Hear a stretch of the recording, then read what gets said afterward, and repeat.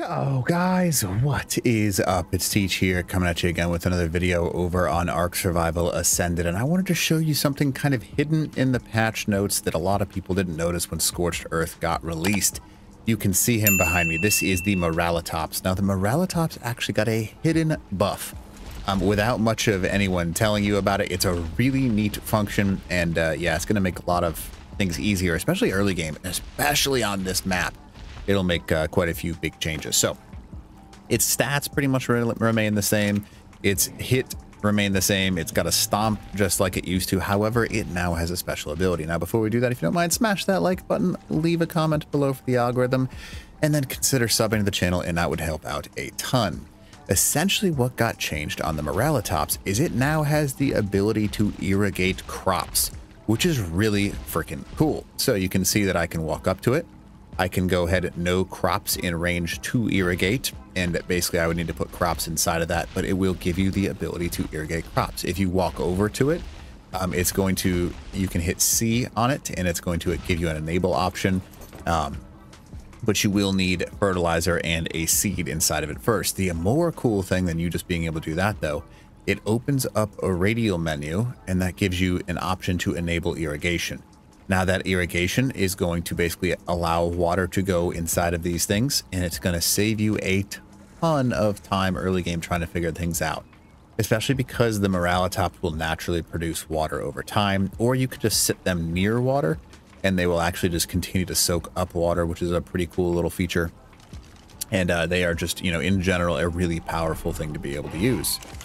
Now, um, the one negative that I will mention about the Morellatops being able to do this is that what is going on? Come on now. Really? We're going to play this game? Um, but the Morellatops is a little bit bulky. That's the only real negative, but it kind of got this little secret buff where you have the ability to um, water crops and irrigate things with that, to, to get tertiary action using C. Now, that's a huge thing because people don't realize that it can be a little bit of a pain in the butt, or if someone breaks something, having a Morellatops nearby with the water kind of leveled up is going to be kind of a little bit of a big thing. So if I look at this guy, you can see that um, I can get some... Oh, that's interesting. I'll show that in a second here. Um, but uh, basically, we now uh, can water crops, and that's a huge advantage. I don't know why everything in the world has decided that attacking me is in its best interest, but it is, apparently, so that's kind of funny. Um, so we're going to keep attacking until we survive this. I don't know why this is going on, but it is. So we're just going to wait. Come on now. Can you just, you know, stop and say you did? How's that sound, buddy? Okay, almost dead. But uh, yeah, so that's a that's a big ability. And um, oh my goodness, this is an invincible Onyx. What is going on? It's like blue. What in the heck? Turned blue. I'm just going to destroy wild dinos.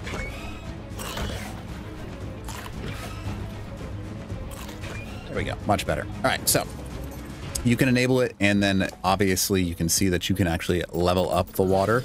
Especially on a high level one of these things, you can actually get quite a bit more water. So if I was to add experience to this guy on a crazy level, let's see if I can find some right here. Where's my add experience option?